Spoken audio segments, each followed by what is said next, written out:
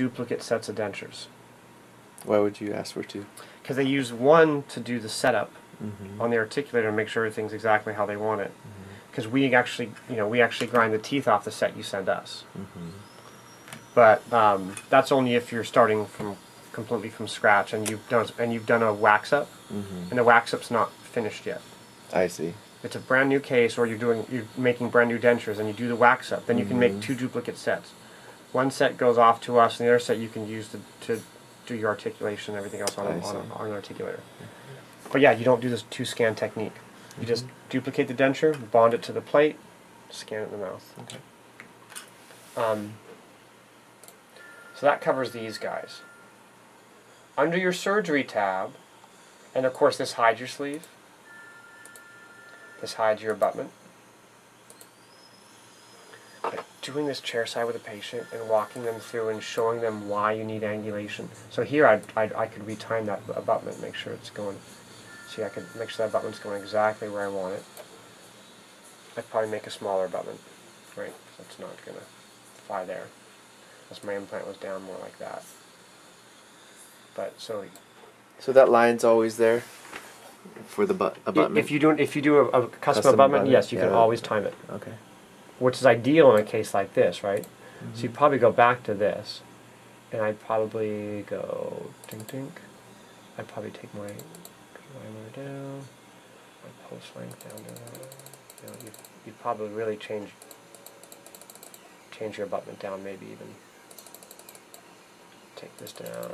I haven't messed with these in a while, so Now, can the lab take this data and make a custom abutment from this? Currently no.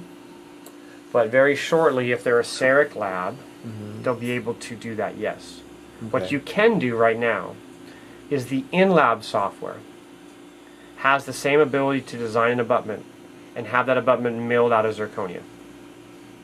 Mm-hmm.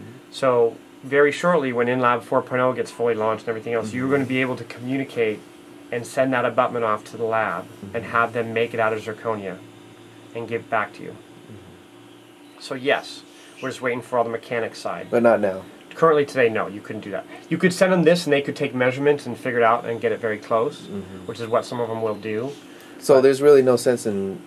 At this point, other it. than educating your patient or showing mm-hmm. them why they need, why there's an extra cost involved, and for your own peace of mind, mm-hmm. restoratively, mm-hmm. that's all this is for currently. Okay. Very shortly, you'll be able to transfer that data off to a lab. Okay. Under your surgery tab, let's say you wake up one morning and have two cups of coffee and you decide, I'm going to do non-guided surgery today, because that's, you know, that's what I've been doing forever. So, this other tab, and you got your logo in there, awesome, basically creates a surgical report. Mm.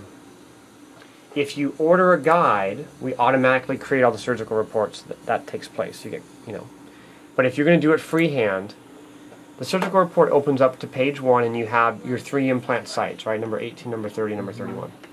Each implant site has an extra page. So this is specific to 31 now. Shows all my cross sectional views. Mm-hmm. This is specific to 30. Mm-hmm. So if you are going to do non guided surgery, generate this report ahead of time. Because if something does happen and you get taken to court, they're going to ask for your surgical plan. And if you have done a 3D scan and you didn't do a surgical plan, that might even be worse than saying I don't even have a 3D scan. Oh. So you have to push that. Push this button, Mm-hmm. then come through here. Now, remember, we could, I can put copy that to clipboard and paste it in somewhere else. I can export it to their current CCAT exam. So I can go like this, one click, and it dumps that report into CCAT. Then it saves it as part of the exam. This is for, You mean uh, CCAT or Sodexis? pardon me, Sidexis. Okay. So this is basically for this is protect yourself because as soon as it, it's produced and saved, it's date stamped, right? Like all the other stuff we do digitally. So if anything did happen, you would have a report that was date stamped prior to surgery showing your plan. Now, whether that's good or bad, that's your call. But this is this is a way to create a surgical report if you're not doing guides, Okay. And that's the, that's the two options under surgery.